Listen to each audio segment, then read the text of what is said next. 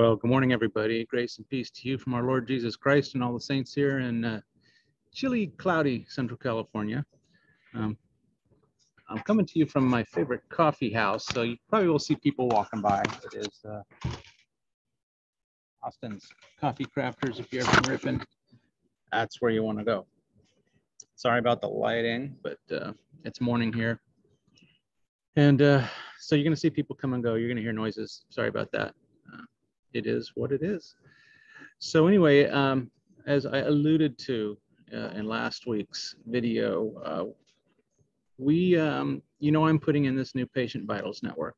Um, we currently have a network provided by Philips and um, our, our hospital, for whatever reason, has taken the decision to uh, move from their vendor managed network to a customer managed network, which means me. So I've been uh, installing some new switches in their closet. Um, let me share my screen here real quick. Share the whole thing. Hang on, bear with me. All right, there we go. So this is their existing network over here on the, uh, it's on my left anyway. Um, they're using Cisco switches. They've got a bunch of uh, bedside monitors connected into those switches. They've got some uh, servers and uh, display stations for the nurses. And um, it's, it's a fairly extensive network. But again, they're all, they're all Cisco switches, which I don't manage. So what I have installed is this mess over here. Um, and what I tried to do is, uh, so right back here is my core. I have two distribution switches here that are cross connected to my two cores. And then all these edge switches here where the patient bedside monitors will plug into, the display stations. Um, there's a wireless network that Philips will continue to manage that will plug into my switches. Um, they are cross connected to these two distribution switches. Thought being that I can reboot either one of these for a firmware update or whatever and not affect the patient vitals network. And that worked great in theory um, until we tried to plug in some of their, shall we say, antiquated equipment. So specifically their, their wireless network. So the way it works is it has a wireless controller that might be on this switch. And the wireless APs could be on any one of my other switches. So we put them all in the same VLAN, layer two. Their wireless controller acts as a DHCP server, actually BootP, but we'll say DHCP and it so it gives the uh, it gives out the IP addresses for all those APs. What we were seeing was that the AP would not get an IP address.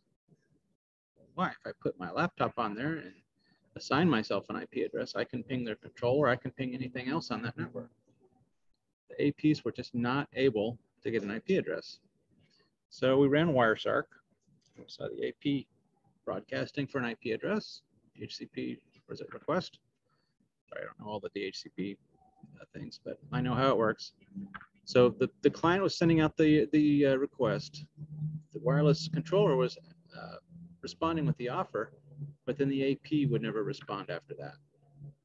Dead silence. So for two or three days, we racked our brains over that, could not find anything.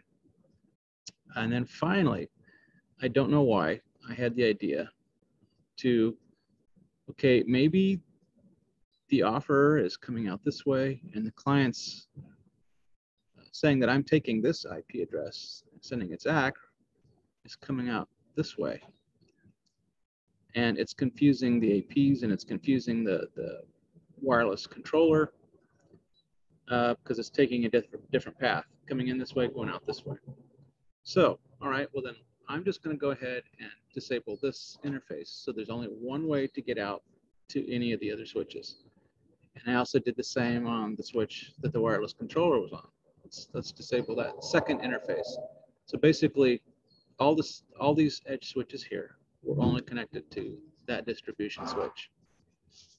We did that, boom, DHCP started working right out of the gate. So, okay, that's good. We got a workaround. We know how to get all their uh, APs connected, but what happens when I re-enable all these secondary interfaces and bring this, you know, we got we've got both these switches going. Then what? So, uh, oops, sorry about that. It thinks that I want to know something and I don't. Get those windows out of the way. So we said, all right, let's try it. So we're going to turn these these secondary interfaces all back on. You know, this one, this one, this one. We turn all those back on and reboot the AP. It works. So I said, all right, well, let's let's try something else. Let's uh, let's just reboot the whole switch, just for giggles. Reboot the whole switch. AP still gets its IP address, comes up normally. I'm like, well, how is it? Why is it working now? And that's when the engineer tells me, oh, well, it's not getting an IP address now. What do you mean it's not getting an IP address now? Apparently, uh, the very first time, and I mean the very first time you power up these APs, they go through the whole DHCP process, requesting address, getting an address. That's the only time they ever do it. They never renew, ever, ever. It's a one-shot deal. If you want them to get a different IP address, you got to blow them away, and then you got to go into the wireless controller and blow that client record away. Okay, so how much of this do I really, I mean, how much of this do I really need to uh, troubleshoot in my network if if the only time that's ever going to be a factor is the first time you bring on an AP?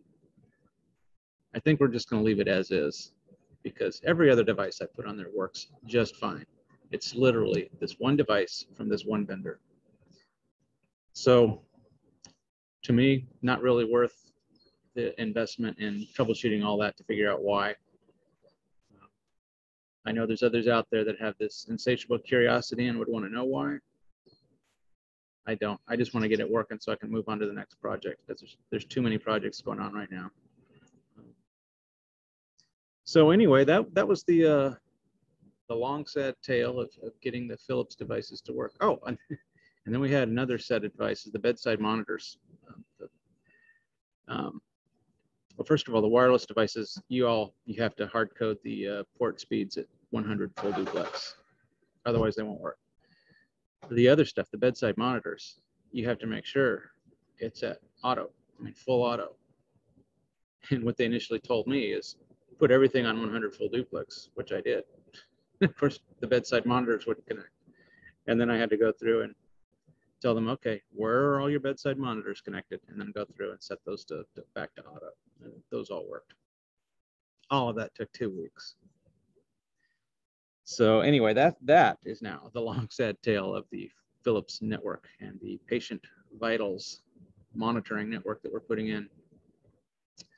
Um, so I'd be interested. There's there's people out there that uh, that dig into TCP/IP far deeper than I do. If you've got some theories as to why that would have been not working, put them in the comments below. I'd really like to know why. Um, yeah, because it's just weird. So anyway, that's that. Um, what do we got coming up? We got a project to replace all my legacy switches, my C series switches, C5s, and I think there might be still a few D2s out there. Um, got to replace those with some newer switches. So those are theoretically arriving this past week. I didn't see them, so hopefully they'll get here this week. More than likely, they're sitting in a ship off the coast of Long Beach, but they'll get here when they get here.